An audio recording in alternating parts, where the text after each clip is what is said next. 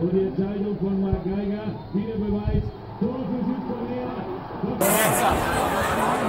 Komm auf, Alter!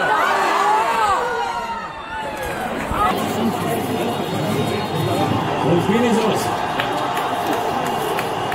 Deutschland verlässt die Weltmeisterschaft.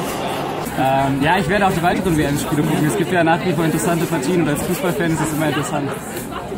Also es ist zwar schade, dass Deutschland raus ist, aber dein WM-Eifer trübt es nicht. Die WM macht jetzt nicht mehr ganz so viel Spaß, aber man kann sie trotzdem noch verfolgen. wie- Ja, nicht so gut. Also wenn, wenn dein eigenes Land verliert, dann ist das allem in der Vorrunde keine schöne Sache.